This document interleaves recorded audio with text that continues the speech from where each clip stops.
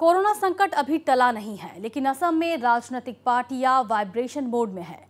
सभी कलाकार समाज को अपने खेमे में शामिल कर रहे हैं। ऐसे में लोग चुटकी भी ले रहे हैं कि इस बार असम में म्यूजिकल चुनाव होने वाला है। देखिए हमारी खास रिपोर्ट। मारी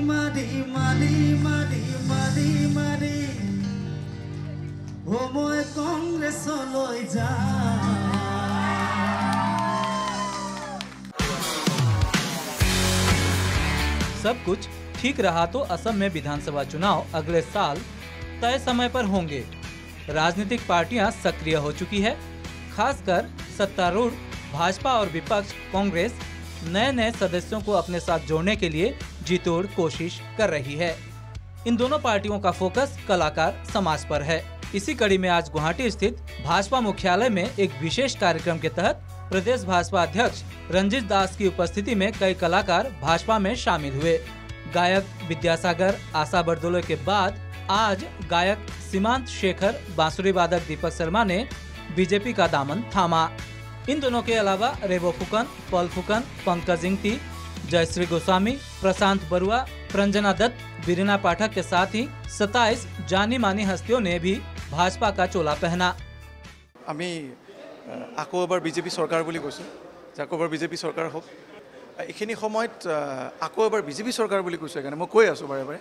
এই বছৰ সাধাৰণ নিৰ্বাচনত বিজেপি যথেষ্টখিনি অসমৰ ৰাইজৰ সঁহাৰি পাই আকৌ আহিব আকৌ এবাৰ বিজেপি চৰকাৰ হ'ব সঁচা কথাত আমি বাঁহী বজোৱা মানুহ বাঁহীয়ে বজাম। যিখিনি কাম কৰিম বাঁহী দিয়ে কৰিম তাৰমানে। বিজেপিক ভাল পাওঁ এইটো একদম সঁচা কথা। সৌভাগ্যভাৱে মই কাত নাছিলোঁ মই তাৰমানে বাহিৰত আছিলোঁ তেতিয়া। চেকস্লোভিয়াত আছিলোঁ আহি পেলাই গম পাওঁ আৰু তাৰে পিছতেই এই লকডাউনটো আৰম্ভ হৈছে ভাগ্য ভাল আছিল মই কাৰ সময়ত নাই কিন্তু গুৱাহাটীতে নাই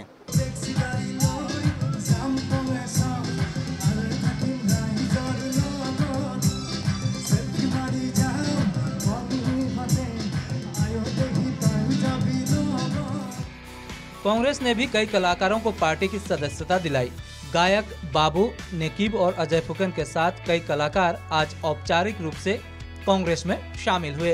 कांग्रेस नेता हरीश रावत की उपस्थिति में मानवेंद्र शर्मा कॉम्प्लेक्स में दोनों गायकों ने कांग्रेस का हाथ थामा। असम में जारी का आंदोलन के दौरान इन कलाकारों ने महत्वपूर्ण भूमिका निभाई थी। आज कुल 40 कलाकार कांग्रेस में शामिल हुए। পেডেল মাৰি মাৰি কংগ্ৰেছলৈ আহিছোঁ। তেনেকুৱা বুলি ক'ব ৰাইজৰ মৰমে লৈ আহিছে আচলতে। আমি কা বিৰোধী স্থিতিত আমি অটল আছোঁ আৰু সেই দলতহে আমি যিটো যিটো দলে কংগ্ৰেছ দলে কা বিৰোধ কৰিছিল সেই দলতহে আমি যোগদান কৰিছোঁ। দলে যদি দলে যোগ্য প্ৰাৰ্থী বুলি ভাবে নিশ্চয়। মই পশ্চিম গুৱাহাটীৰ মই পশ্চিম গুৱাহাটীৰ পৰা। মইতো বিচাৰিমেই কিন্তু দলে যদি মোক যোগ্য বুলি ভাবে তেতিয়াহ'লে যদি দলে দিয়ে মই হাজো সমষ্টিৰ পৰা মই বিচাৰিছোঁ মানে বিচৰা বুলি ক'ব যদি দলে বিচাৰে তেন মই হাজো সমষ্টিৰ পৰা প্ৰতিনিধিত্ব যিহেতুকে মই হাজো সমষ্টিলৈ ল'ৰা গাড়ী অলৰেডি তাৰে হয় তো মই ভাবিছোঁ যিহেতুকে গাড়ীখন তাৰ পৰাই গৈছিলে শ্বিলঙলৈকে আৰু উভতিটো ঘৰলৈ আহিব গাড়ী। ইতিমধ্যে ওলাই আছে আৰু আলাপ আলোচনাৰ মাজেৰে সকলোৱে এটা কথা কৈছে চাবুৱা সমষ্টিৰ পৰা প্ৰাৰ্থিত্ব দিয়াৰ কথা সকলোৱে আলাপ আলোচনা হৈছে। আৰু যদি চাবুৱা সমষ্টিৰ পৰা প্ৰাৰ্থিত্ব পাওঁ তেনেহ'লে ডেফিনেটলি মই দুহেজাৰ একৈছত মানে প্ৰতিদ্বন্দ্বিতা কৰিম বুলি পেদেল মারি মারি মারি মারি মারি মারি bureau report North East live